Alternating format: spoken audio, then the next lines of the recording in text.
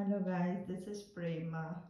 Today we are going to see some the ragi ball, soft ragi ball made out of sprouted ragi and uh, the tangy tomato which I earlier shared with you people, the quick jiffy one. Uh, today I'll show you just the how to make soft ragi balls. Come, let's uh, get it in the process water boiling for ragi mudde and there is this tomato chutney which I earlier showed you in the video. For one and a half glass of uh, water I am in this one and a half glass of water I have poured. Now I am just adding one and a, one and a half teaspoons of methi powder and a spoon of oil so that your ragi mudda comes very soft. I'm adding a, quarter spoon of salt. Powder is added. Now I am adding this one cup of uh, ragi flour for this one and a half cup of water.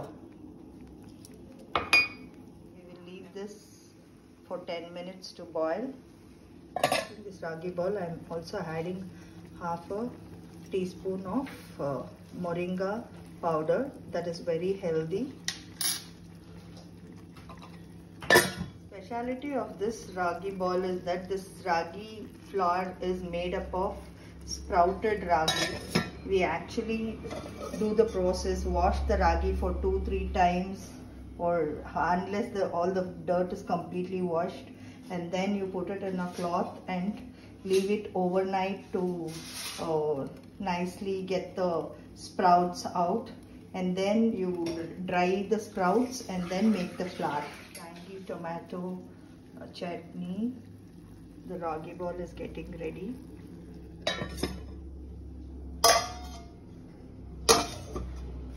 Now I'm going to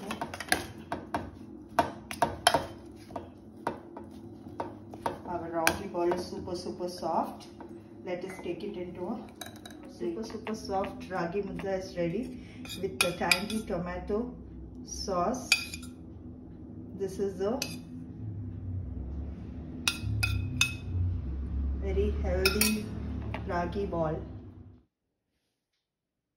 Thank you guys for watching this. This is Prema signing off from DSS if you like it share and subscribe.